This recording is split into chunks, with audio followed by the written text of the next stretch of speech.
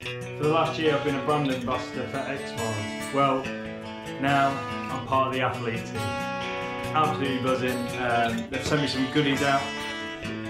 Let's see what they've sent me as a bit of a welcome back and welcome to the team. Welcome back and welcome to the team. Sweet. New trucker hat. Everyone loves a hat. Nice. Miles race hat. This is the new race hat. The bright colours. Bottles. Yeah, a handheld bottle for the long runs in the summer. Sweet.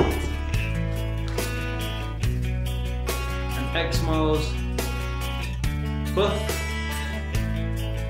Love it. It's getting cold now, so collapsible cup and loads and loads of nutrition. Happy days.